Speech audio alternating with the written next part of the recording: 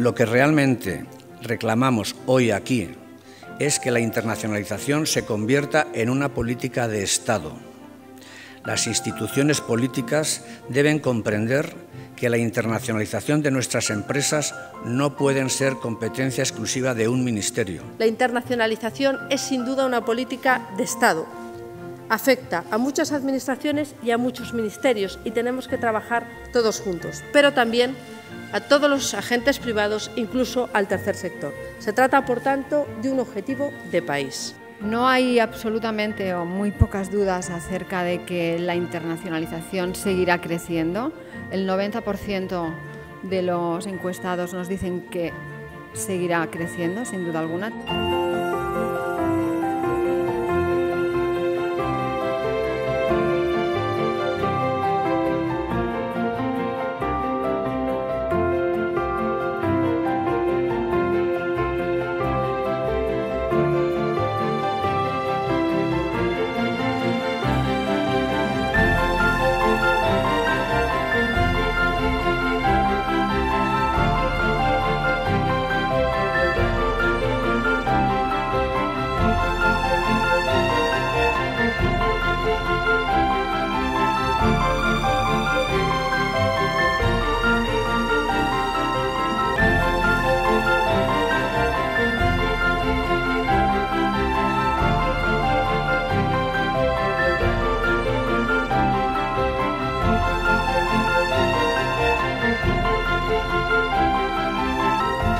Este siglo va a ser un siglo fundamentalmente asiático, eh, aunque la vertiente atlántica sobre todo si se firma el tratado, pues eh, va a seguir teniendo un peso específico absolutamente indiscutible, pero si este siglo va a ser un siglo fundamentalmente, está siendo ya un siglo fundamentalmente asiático, la gran sorpresa positiva nos va a venir de, de África.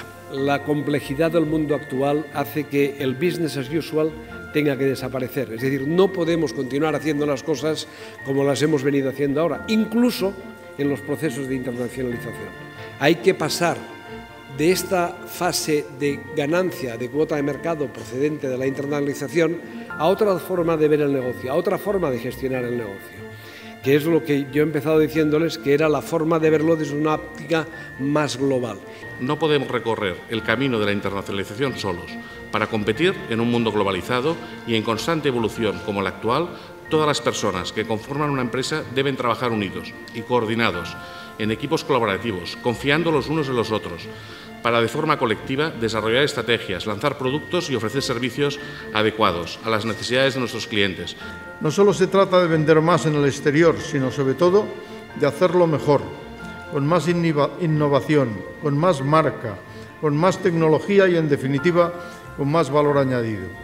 Y de no contentarnos con vender solo en nuestros mercados más próximos, sino también en los que, aunque más difíciles, más van a crecer en los próximos años. España debe aspirar a registrar un número alrededor de 200.000 empresas exportadoras en el medio plazo.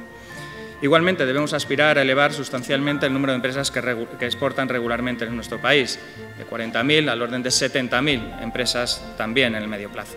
Y con esos objetivos alcanzar un nivel de exportación de bienes y servicios sobre PIB en el medio plazo de al menos un 40%.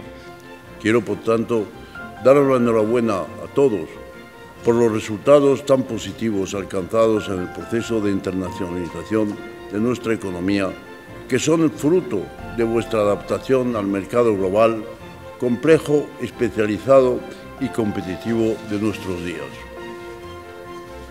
Y quiero también transmitiros la necesidad de que sigáis apostando por la internacionalización.